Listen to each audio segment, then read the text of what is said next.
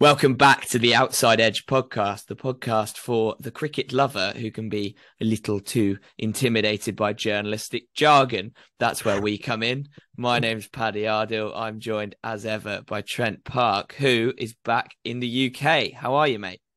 Very good, mate. Yeah, got welcomed home by a lovely 15 year old on the train yesterday, just smoking a fat vape in my face. So, yeah, good oh, to ah, see good. I'm back in London. Good to have you back, mate. How's the how's the cold treating you? Yeah, uh, not too good. Had a cracked window first day we got here. We didn't realise, and then it was like minus fourteen in the place overnight. Woke up with sore throat that I was dying. So, um, yeah, pretty pretty Baltic Baltic mm. conditions then, pal. Well, yeah.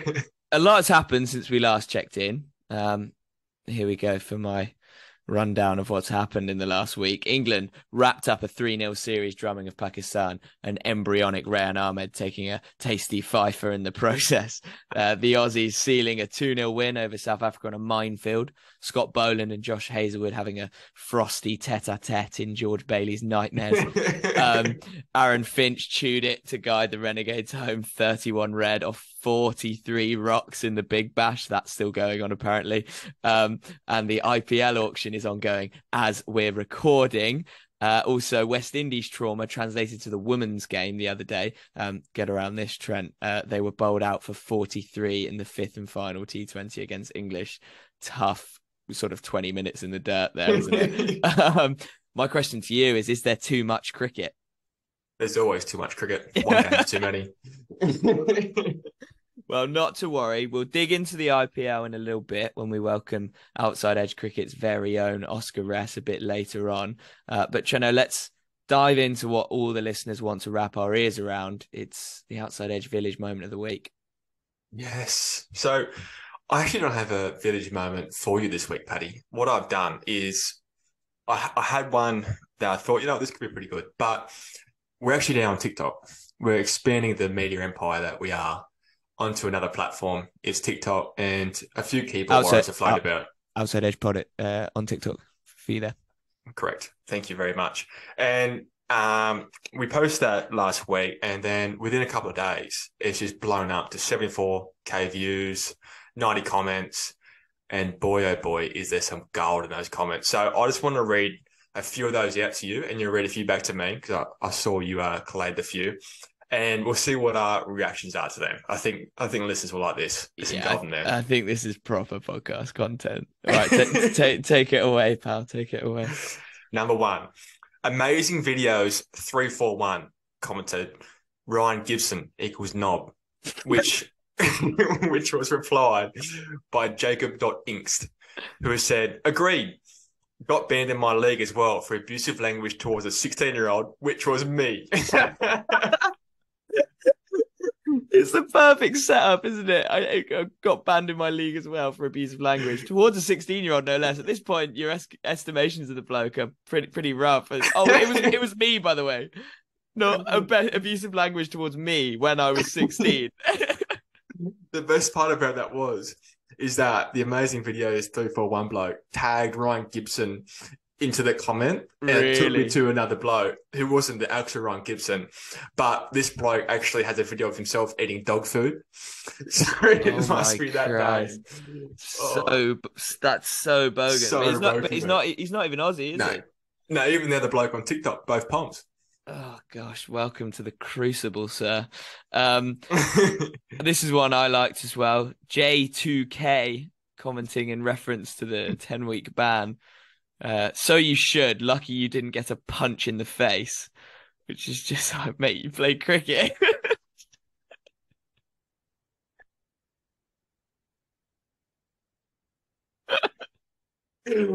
oh, this is the dumbest game in the world. oh, I've actually been involved in a game that someone's been hit.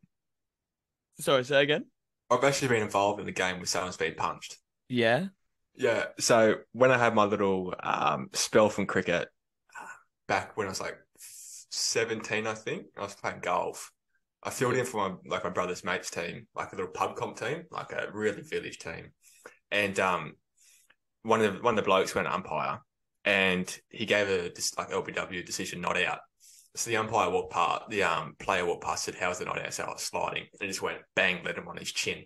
No way. Walked back to his mark and bowled the next ball, and no one said a word. I was gobsmacked. yeah. Oh, you never told me that before. That's unreal. oh, just, cl- just clocked bizarre. him. Just clocked him on the jaw. That's so bad. Can you imagine? Yeah. Can you imagine if, you know, Ben Stokes in prime 2014 15 Stokes era. you just get just gets no, it's, it's going over. Just clocks Kumar Dharmasena in the jaw. The first one I thought it was Nathan Lyon with Joel Wilson. Stokes here at Headingley. Um, right, back on the comments. Back on the comments. Okay, user seven nine oh five seven five nine two eight nine five, which is Elon Musk's next kid. That's like um, a Wi-Fi password. He said he'll have an Australian contract soon if he keeps that up. Oh, there's just self-deprecation amongst Aussie TikTok commentators. Oh, so it. so self-aware. Uh, I like this one as well. Uh, Messer Mitch 33, bit of a unit, someone to be a little bit afraid of. Um, he, he, yeah, don't don't get on the wrong side of Messer Mitch 33. He said he'd be brave doing that to me with a bat in my hand.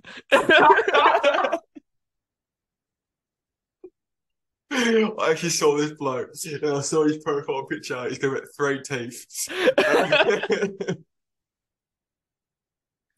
so good. Oh, I can't do it. What what what you what you gonna do with the bat in your hand, bitch?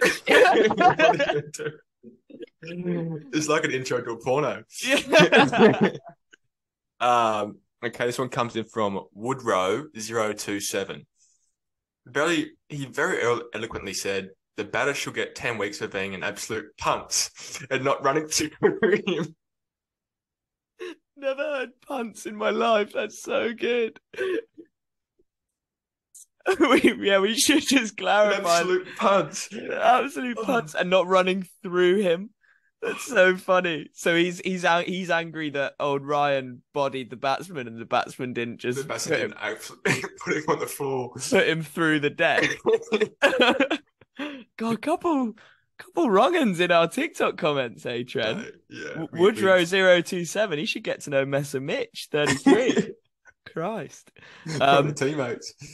This yeah. one's really good as well. This one sort of reminds me of the story you've just told me about Matey uh, giving the old left right good night to the umpire. Um, Harry Bow Supermix said, having watched this uh, piece of visual content, said, "Too right.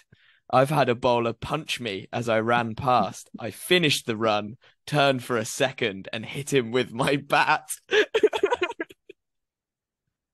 Do you reckon he made it? Do you reckon he was an audacious too?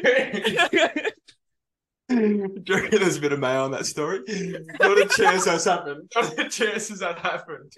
He's playing cricket just in a royal pool.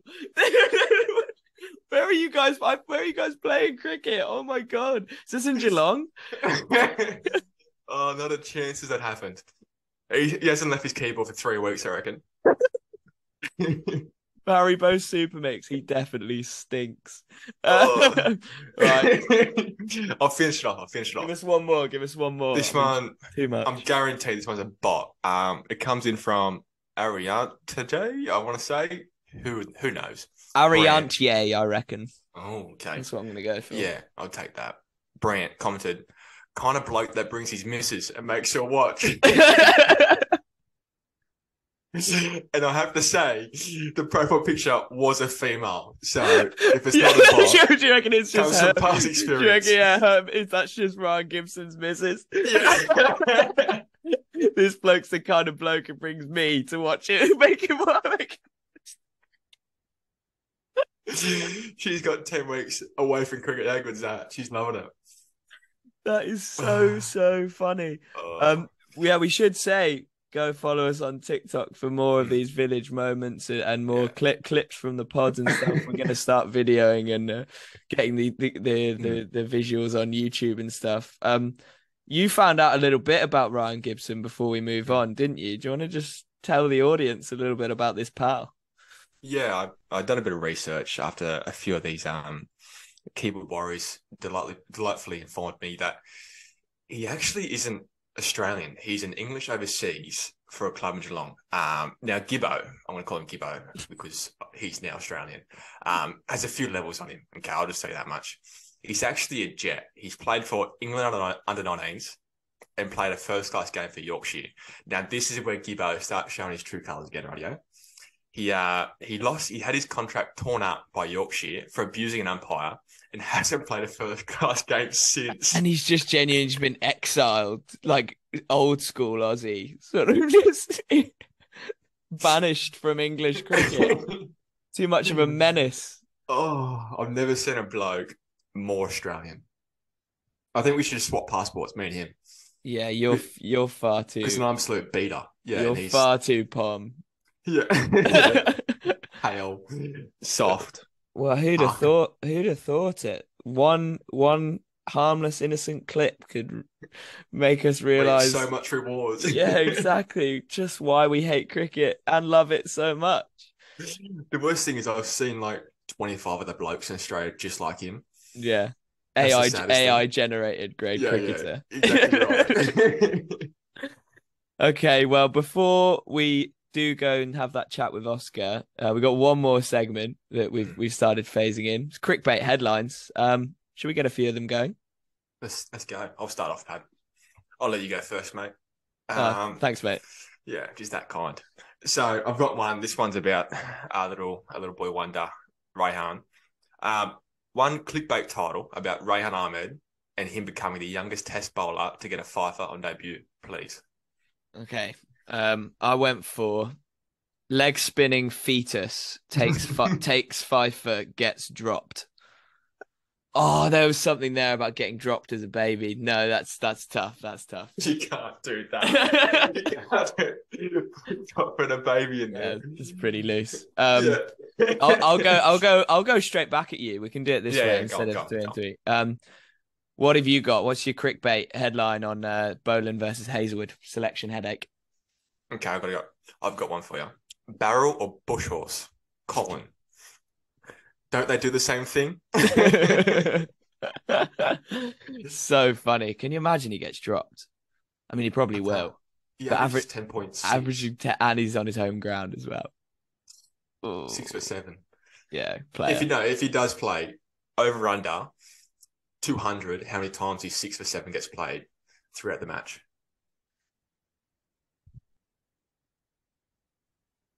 On are we on Fox?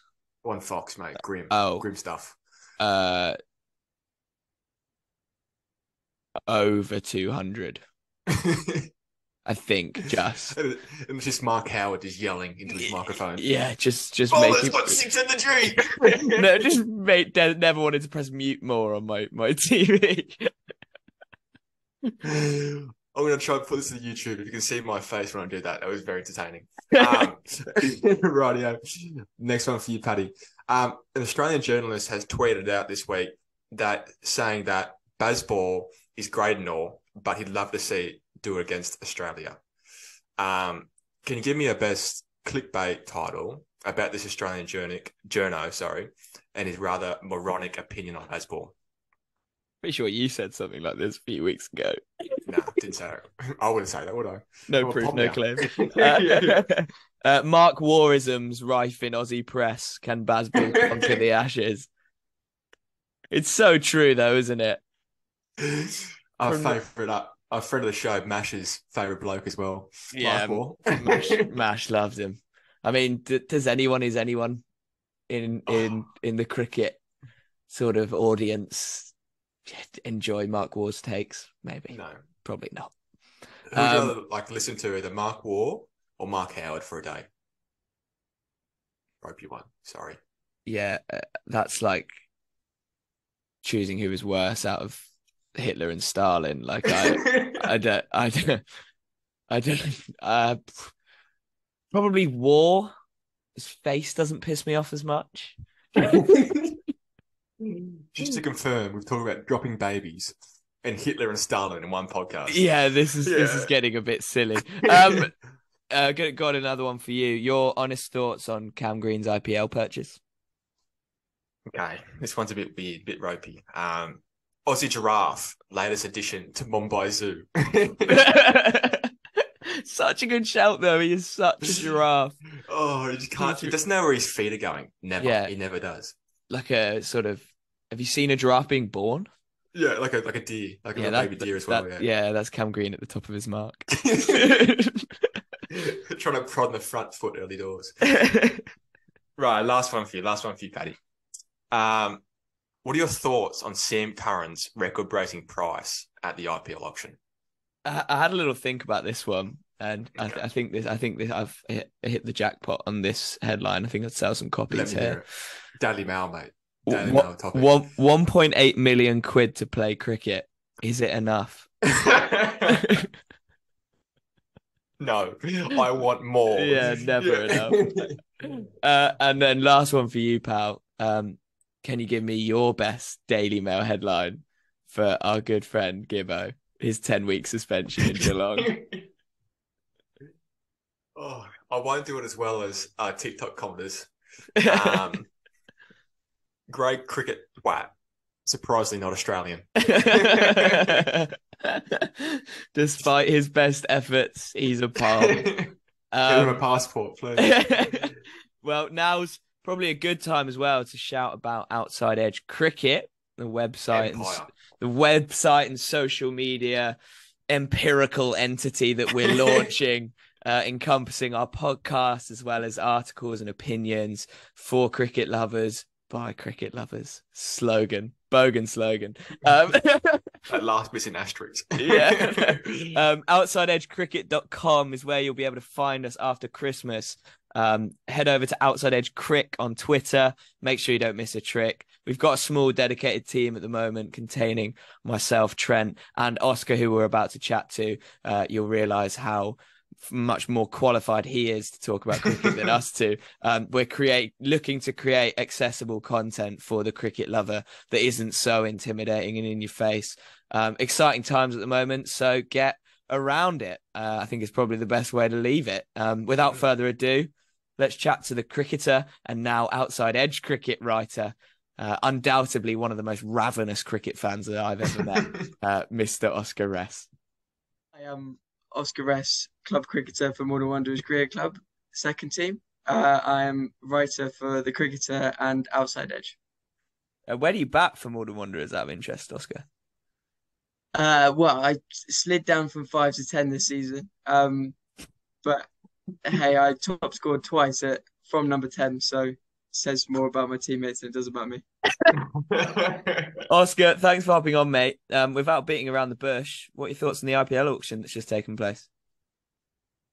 I, th- I think it's interesting. The the IPL auction is unique in cricket in terms of its it's so far away from the competition, um, and there's it's had criticism about about how it, it sells players and how it you know puts players up and you're, you're sort of bidding on players and and they're not really like people.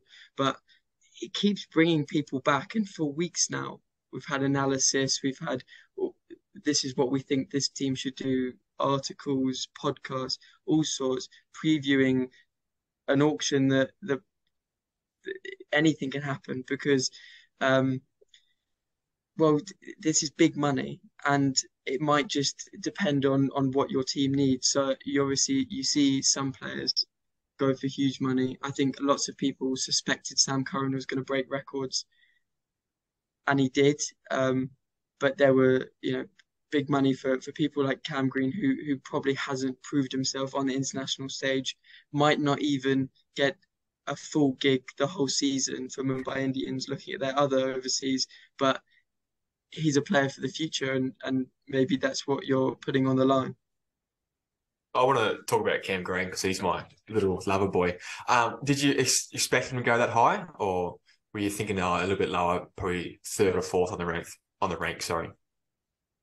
I thought he was going to get this big hype, and then people weren't really going to go for him, and it was all going to depend when he came out in the all rounders. People have already said that Sam Curran was probably lucky to come out first out of the three big name all rounders with him, Ben Stokes, and Cam Green, because you knew once you'd broken that record, no one was really going to be able to go afford to go higher than that. Mm. Um, so no, it doesn't surprise me. I think with with the way it works and and it's something's been been talked about is the IPL might be extended and extended, extended, and suddenly you want players who you think can provide batting and bowling. You want people for the future because there might never be a mega auction again where you have to um, release players. So Cam Green at 23 could be huge in the future, but that's that's all of Mumbai Indians is um, overseas players. They've got well, Archer now.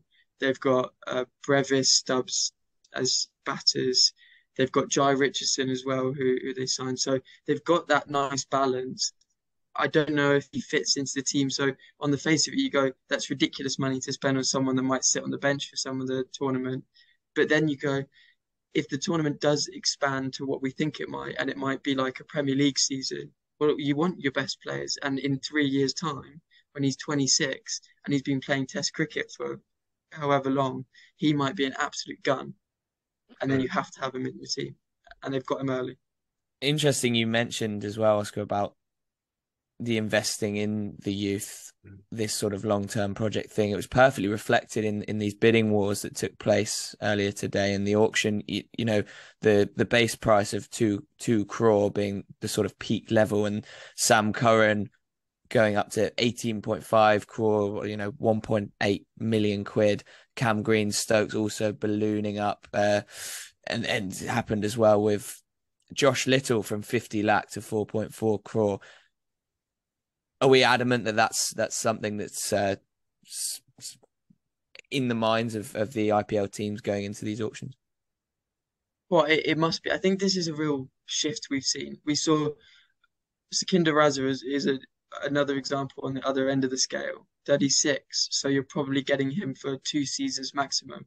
A lot of people while he was smashing it in the qualifiers of the T20 World Cup and he scored runs against India and that that used to be a surefire way of getting big money at an auction.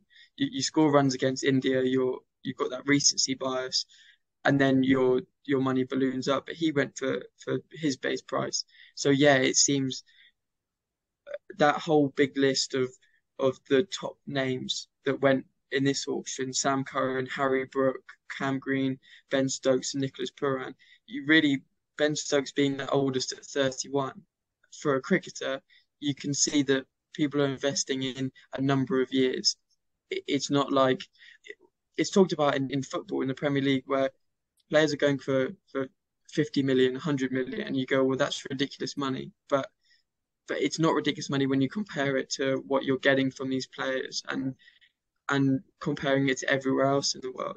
The IPL has no comparison. So for cricketers, for cricket fans, we look at it and we go, how are they earning two million pounds to go play for a few weeks in India? It sounds like a great, a great deal, but but th- that might just be the way that the the world's going.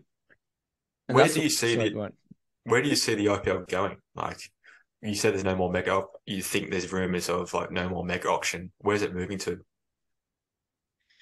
Well, I think you've already seen with the um, international T20 league, the the UAE one that's going to start soon, the South African T20 league. These IPL teams and these IPL owners are going and buying other teams, and mm. that it seems like it's an obvious thing that well suddenly those those Indian owners or those IPL owners will have a stake in every single T20 league. And suddenly these T20 leagues go on the whole year. So you're picking the same sort of players and the same sort of um, people in each team. And then it's an easy link to go, okay, well, you're signed up to play for our group in three different tournaments and they're all stretching six months. So why don't we just combine it all and put it to towards one thing. So it could well end up like that. You sort of hope not because you hope there's space for other formats. You already see that the biggest impact is is ODI cricket, um, hmm. which which looks like it's just at the end of its its its run. Just audition for these mega auctions, aren't they? Cam Green, you saw that right there. It's interesting you should mention that. These sort of we've seen IPL teams going out and yeah, buying teams in South Africa and in you know Abu Dhabi and uh, sorry in the UAE. Um, are there is there now is there sort of a hierarchy now? Because you'll have players that are going undrafted in the IPL, going to play in the ILT20, getting their sort of franchise cricket overs in. What's what are your thoughts on that? Well, I think it's always been the case that, that the IPL is is the best tournament. Mm, yeah. Even when the other tournament in the world was was the Big Bash, it never pretended to compete. It's now obviously not, and and you guys have, have talked about it before that it's, it's sliding down um, very very fast. But um, there was always okay. Well, the IPL is the best, and and and everyone else will compete. Um, but you look at players like Will Smeed went unsold in in this um, auction. He will go and play in probably most other franchise tournaments, PSL being one. He, he played really well there. He signed a white ball only contract. He's set himself up to only play these franchise tournaments. So yes, I think in his, in the back of his mind he'll be thinking, well, if I put in a good performance, maybe I'll get picked up in the auction next year, because because he needs that because he, he's he's set his sights on on this as his career. Hmm. Do you think anyone can compete with the IPL in the future? Like the Big Bash, can, can they make a comeback at all? I mean, can can you come back from 15 all out? Um, being in the record books for all the wrong reasons is, uh, um, yeah, I, I just I, I don't see anyone competing with it because it's it's as I said before, like we look at that money and we go, that's mm. unbelievable. Like, how on earth is there sort of money in cricket? It, it's because, you know, that's the only place where that money is really available. So these players, as much as we want them to be like, oh, well, you know, we'll play in our domestic competitions or we'll play in our own stuff. Well, where's the money? If you're yeah. short careers. Um, yeah, I, I think Ben Cutting is a good example. He's leaving halfway through the Big Bash. He made his name in the Big Bash. Mm. That's the reason he got an IPL gig in the first place. Um, and and he's not gone. Okay, well, I'm gonna I'm gonna stick it out here, even though I'm probably not gonna make as much money. He has to at that stage of his career go wherever the money is, and and in in some ways that's fair enough. In other ways, you go, oh well, that that's a bit of a concern. On a more, sorry, sorry, go on we even saw that with um, like players like Trent Boult moving away from central contracts with their own country and just like signing off the Test series when they want. So yeah, it is going to be very interesting. On a more pessimistic note, we wrote on the Twitter this morning about how you know cricket transitioned into Australia's power with Kerry Packer's World Series cricket, and, and now we're seeing that again with the BCCI and, and in the IPL. And obviously so much has been made of the big three in that sense, but what sort of stranglehold slash monopoly does this spell? Is there something more daunting or a more daunting way of looking at it as a cricket fan? I think it's easy to be pessimistic, but you know, with the South African competition, for example, it's a, it's an area I, I know quite well. They decided not to play the ODI series against Australia in that that phase because they wanted all their best players available for that mm. tournament because that's where all the money was coming from. They don't make any money from hosting test series unless it's India. So you ask whether mm. you know this is daunting for Graeme Smith who's running the tournament and Cricket South Africa. It's not really a choice. It, you've got people mm. who I think it's 70 million rand is the um, prize money for that tournament. If they didn't have those investors, there's no way that money would be available to, mm. to be given to the winners. So in doing so, you get the best players, and they had they've got really strong set of players. Um, so it might it might seem for for maybe from from a perspective of the English perspective and the Australian perspective, who look at it and go, well, it's the big three becoming maybe the big one and then two underneath. For other countries, they're just fighting to sort of survive and and and stay around in it. This is this might be their their their lifeline. Before we go, Oscar, uh, who do you think has has done the best in the IPL? If we go back to the auction, who are you backing? I think it's it, it's tricky. You wanted a short answer, I'm sure, but it's tricky until you see until you see it actually happen. I thought RCB looked good because they retained quite a lot, and then knowing that they were going to probably lose Josh Hazlewood at times towards the end of the tournament, got Reece Topley in, and they've got Will Jackson just in case Glenn Maxwell's not um not fit. That seems to me a good plan. They were very close to to going all the way last year, and you just filling gaps and improving the squad slightly. But when I I wrote down Mumbai Indians is overseas, and I can't think of a more exciting group of players.